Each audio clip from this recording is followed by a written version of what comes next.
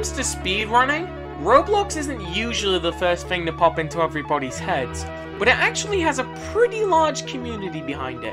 And very recently, we saw another sub-community of that emerge from an old Roblox recreation of it, Goodblox. Good Blocks had an event from the beginning of February to the 7th, where people would have to submit the fastest times they could in a selection of 7 different games. And the fastest of each game would win 700 good bucks and a checkered crown which wasn't able to be gotten anywhere else. This scrambled the community to get as many good times as they possibly could which caused a lot of debate over the community as well.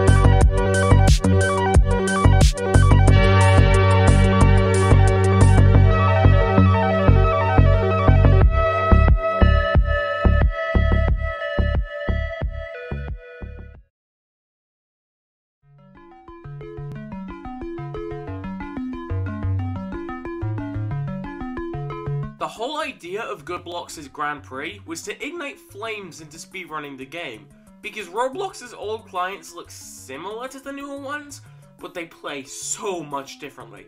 Like in 2009, you can trip just by hitting a ceiling within the first 10 frames of your jump, and it doesn't matter how large the ceiling is, hell, it could even be the top pixel of another Robloxian's arm! But what were the prizes?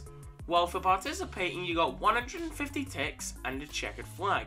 In third place, you got the checkered flag and 300 good bucks. In second place, you got 500 good bucks, the checkered flag, and the checkered skateboard.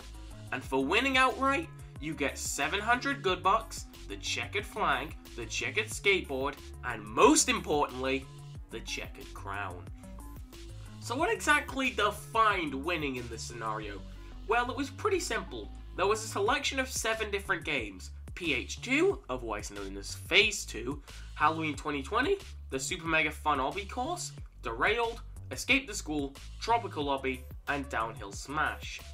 And winning meant getting first in one of these games. You didn't need to be first in the most or even get the most podium finishes.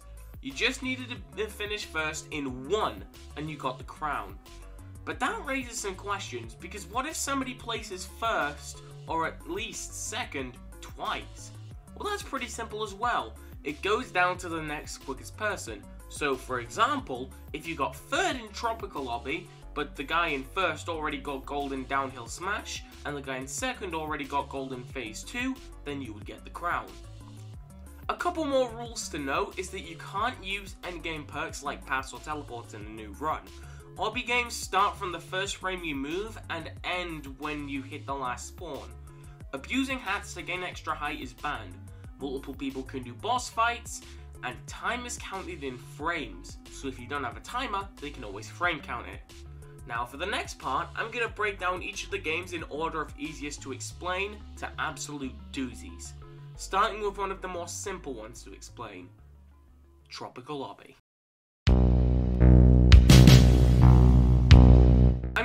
Break down every single minute detail of a run unless it's particularly impressive or meant something in the future. In the first day, Tropical Obby was one of the more heated games, having about 6 runs submitted on that day alone, with the fastest being That Blue Yoshi. We're gonna start by covering this run because not only was it pretty fast overall, but really impressive that he got this day 1. You start with a collection of lava jumps that you have to leap across, and because of old Roblox's jump delay, it would make it so that you have to wait about a second between jumps. But a tactic Yoshi discovered was jumping in between the spaces whenever there was a corner to save an extra jump. And he could afford to lose those runs considering that the run was only beginning. Sections 2 and 3 were fairly trivial, but do note that he didn't go for the checkpoint to save a slight bit more time. He was really shaving off every little bit he could find early on. Part 4 was where he saved the most time. There's this section with checkered lava pieces that take about 14 jumps to get over, and considering that jumping has a 1 second cooldown, that's 14 seconds at the minimum. But Yoshi discovered how to push this lower, by using a piece of debris that could let him skip the entire section. Smart guy.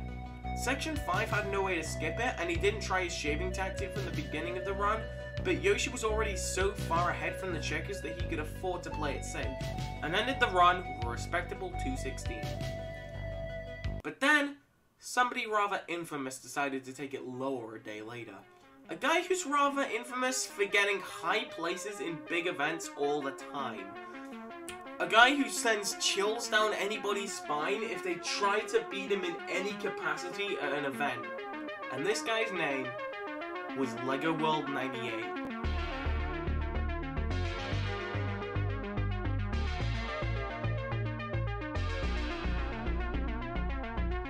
Remember everything that Yoshi did? Well, throw all that in the trash, because how much do you think Lego World lowered the record? 5 seconds? 10 seconds? A minute? Two minutes?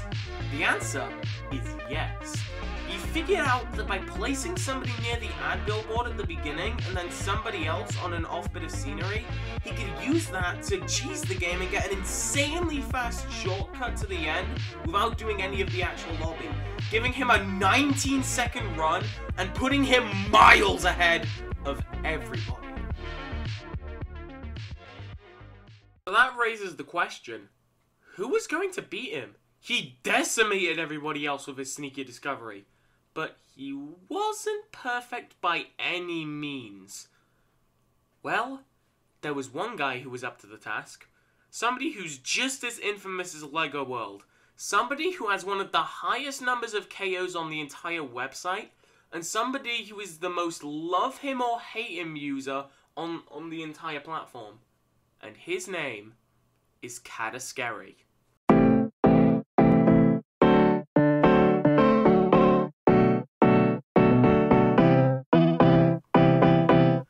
Cadascary had a bit of a rivalry going with LEGO World, because every time he would try to do an event, LEGO World would deny him near instantly. But this was the one time where Cadascary decided that he had enough, and he was going to mess with LEGO World this time. So he got two of his friends and started grinding for a time so perfect that LEGO World wouldn't dare to try running the game again. And he came out with a time of 16 seconds. Know what? It worked. Afterwards, everybody looked at that run and decided, this is too ridiculous, I'm not going to touch that. And then decided to start running the game legitimately to see who could get the fastest non-cheese time instead. So it seems like Cadascary was a surefire winner. But then, literally an hour before the event ended, something tragic, well at least from Cadascary's perspective, happened.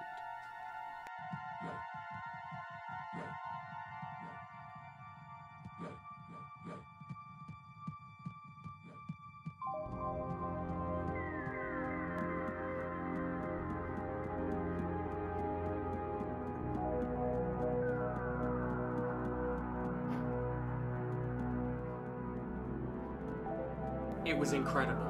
In the last hour, a group of friends that all followed LEGO World all got a time that decimated Cadascary's 16 second run.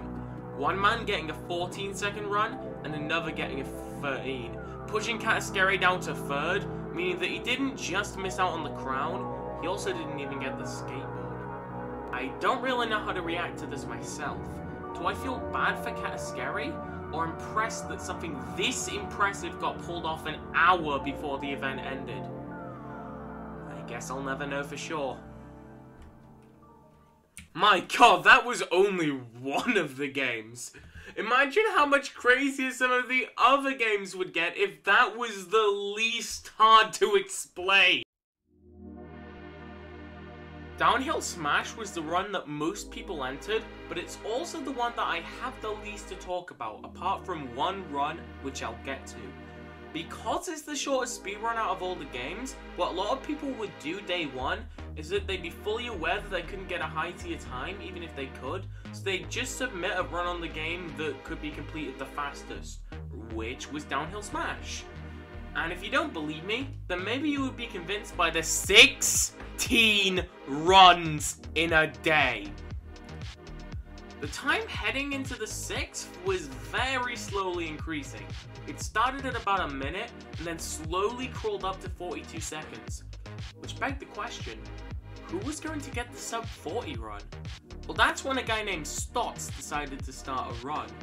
And it was on an incredible pace. He aimed completely straight, none of the cars hit him, and he was ascending like a madman. To the point where the estimated time was a 39 second run, which was exactly what he wanted. But then, when he was at the very top of the mountain, he got hit. His amazing looking run got denied by bad RNG at the last second, and sub 40 would have to wait. Also, everybody thought.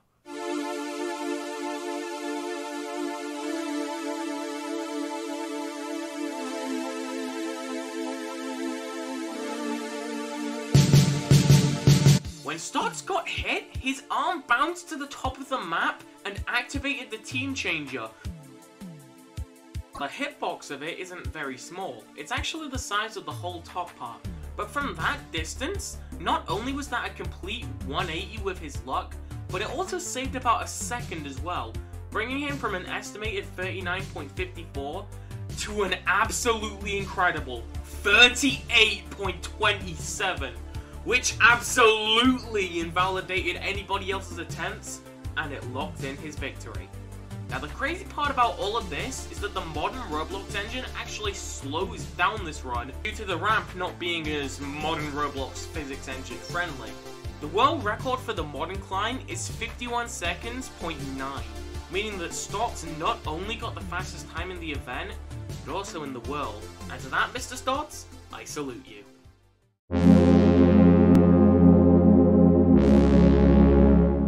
Escape the School was the last game to have more than 10 runs submitted for it, meaning that it was one of the games to get the most attention. But similar to Downhill Smash, I don't have much to say about it, though I still do have a bit more to say about it than I did for Downhill Smash, if you count the amount of runs worth discussing rather than how much happens in them. So let's dive right in. Funnily enough, the very first run to be submitted was a 154 by Mr. Hollywood 2123, and this was an impressive run, mainly because of how fast it was done. It took until the very end of the day for somebody to get a time that was close to that.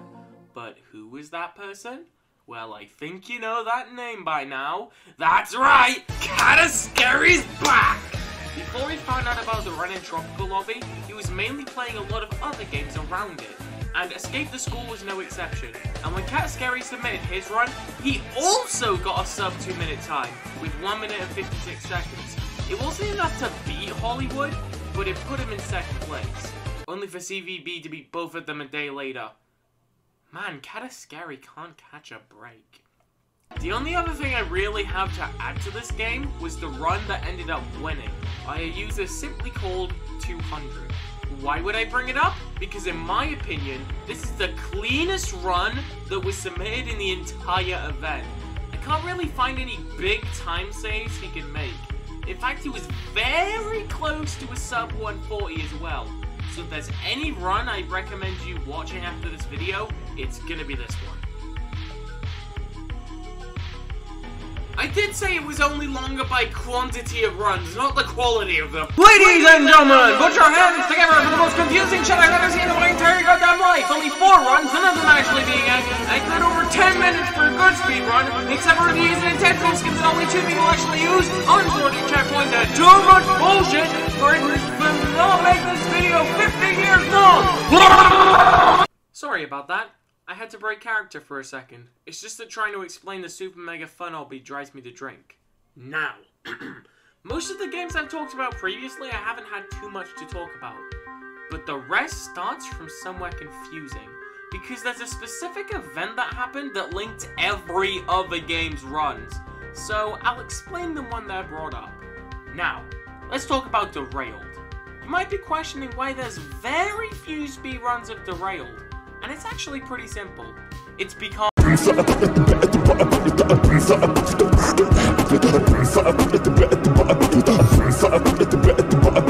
Okay, I promise I'm not gonna break character like that again. I promise that's gonna be the last time. The primary reason as to why nobody wanted to speedrun Derailed is because it wasn't a game that was meant to be speedrun. It's a cart riding game that punishes speed rather than rewarding it. It's completely baffling why Ezra even added it to the list of games. Was it to pay respect to Jika? Who would even go for it? Well, two people were up to the task. Arifus and Rainbow Soft. Was the first person to strike with his run, getting a not so impressive 455 after losing a life in the YOLO section, but later cleaned it up with a 415. I would show you gameplay footage, but he deleted all of his footage after the event ended for no reason whatsoever. Why? But there, there was no reason to do that. But Rainbow Soft was silent. He wasn't saying anything to anybody. It was very clear that he was grinding for the perfect run, but the amount of luck that you would need to get a perfect run of Derailed was immense. God knows how much time would be saved and how long it would take. And then one day later, Rainbow Soft did this. Please, please, I want to be free of this pain! Go! Go, please! Yes! Come on! Come on! Come on! Oh, oh, oh. Yes! Yes, it's finally over! yes! Yes! After 76 and 75 attempts, let's fucking... A free 38. Throughout the entire run, there was only two time-slowing mistakes that were out of his control, and they only cost him a total of 7 seconds. He accidentally tripped at the timed rails, and his cart slowed down after it for no reason at all. But apart from that and a very small lag near the end, the run was perfect. Only two days in, Rainbow Soft had a shot at getting the crown, and this was the only run he'd done so far. The next day, Rainbow Soft wrote a letter to convince Arivis to speedrun a different game like Halloween 2020, mainly because he didn't want anybody else to go through the pain and suffering that was the derailed speedrun, let alone to take down his own run, and he listened. The 415 he submitted was the fastest run he submitted for the game. The next day, however, someone else stepped up to try and challenge it. You know his name! It begins with a C! Kinda Scary! Kinda Scary was in the middle of a run, and a decent one at that. It had the pace to get something good. But then something interesting happened in the middle of the run.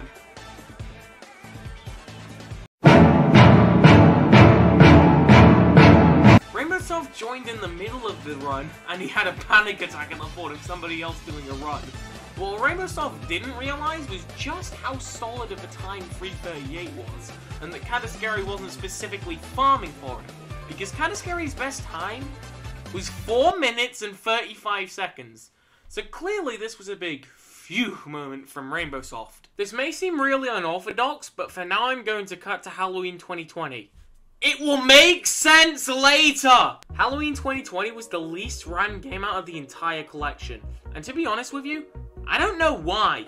There's nothing offensive about the run and it's fairly straightforward to do, so I don't get why it has so little attention. Nonetheless, the attention it did get was only by two speedrunners. Arivus, who went to speedrun the game because of Rainbow Soft's domination in Derailed, and Stotts. But wait a minute. Stotts already had a run where he came first. This meant by playing a game where the only other person who was running it had already won something else, Arifus had sealed his chances for getting a crown by barely doing anything. And I think that's pretty humorous and smart, so all the more power to you, Arifus. Anyways, back to the Derailed. This is where shit gets bizarre! So please, everybody, make sure that you have all seven seatbelts buckled because we're about to enter hyperspeed. After Rainbow Soft's amazing time on Derailed, he felt the need to comment on the crown, boasting how good of a time it was. But all it took was one comment from somebody not even competing to change everything.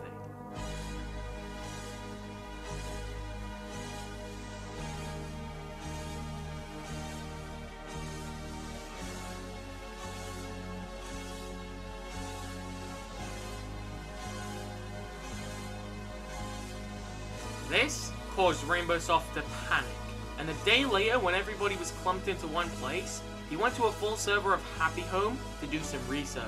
Rainbow Soft also written a letter asking Regen what he meant by little did Rainbow know. And he replied, Dog, I'm not even the one who got the run, which only made everything worse. Like, what did he mean by that? Who was getting the run? What was being planned? After 10 minutes of discussing, Cadascary eventually told him that the person he was referring to managed to find a trick to skip the entire derailed speedrun, but this was using the hat glitch, which was strictly forbidden. So you may think this is where it ends, right? Well, no. Because also in that server was Lego World 98, and he overheard everything, and didn't like the way Rainbow Soft was referring to everything, eventually getting to the point where he decided, Fuck it! I'm gonna use every bit of my power to try and stop you from getting that goddamn crown! Or something along the lines of that. And at that very moment, the Discord was split into three categories neutral, Lego cheerers, and rainbow cheerers. Lego World 98 had an absolute army of friends, so almost everybody was following him, with only a couple people helping Rainbow Soft. As the Discord was starting to lose it over both of these people, they both did different things. Rainbow Soft stayed on the rail just in case anybody from Lego's side tried to start a run, while Lego World started grinding runs on Phase 2 while he was distracted, and he found that the next thing he would go for was the rail. So while Rainbow Soft was nervously defending on the game, what got affected by this movement? Well, all the effects in the last bits of time were favored to Lego World. He got everybody to screw Cadascary in the last hour, which we already talked about near the beginning of the video. Kept Rainbow Soft on edge for the entire day, and as for Lego World himself, he had a record to set. Phase 2 was a weird speedrun, because you didn't run the entire game. Instead, all you ran was the final Clockwork boss fight, considering that was the most iconic part of the game. And, here's the kicker, multiple people are allowed to help you in any boss fights, according to the rules. The best time on the game before LEGO World started grinding on it was 1 minute and 3 seconds by Hunter, the same guy you got first in the Tropical Obby. Very closely followed by S Micah by less than a fifth of a second. So how much could LEGO World lower the record? I don't know, by 10 seconds? Because of the army that LEGO World had on his side, there was really nothing that Rainbow Soft could do to prevent, even if he wasn't camping on the rail. The people in the group just did that much damage in that fast of a time that there was no possible way that anybody, not even somebody putting down everything in their life to try and prevent them, could stop them. So, who won the bout? It's really difficult to decide. LEGO World had an amazing final day with a bunch of last second times, but Rainbow Soft barely had anybody on his side and managed to keep the earliest lasting run in the entire event, even when an entire group of people were hawking him down. So, who did better? I'll leave that down to a straw poll at the end of the video.